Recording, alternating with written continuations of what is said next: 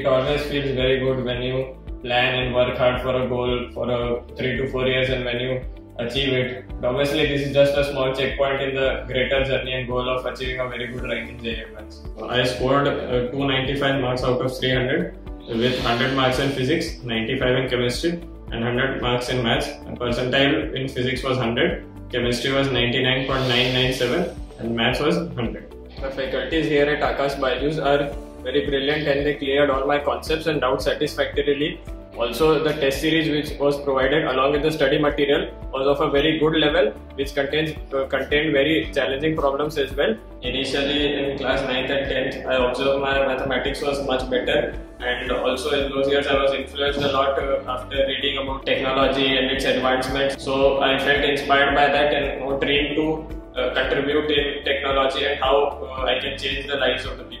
I would like to give all the credit to my father, mother, and sister who are like three pillars during my preparation phase. Also, here uh, all the teachers at Aakash Byju's helped a lot and they were very cooperative. Also, the staff made sure that I faced no problems during my preparation and made everything available on time.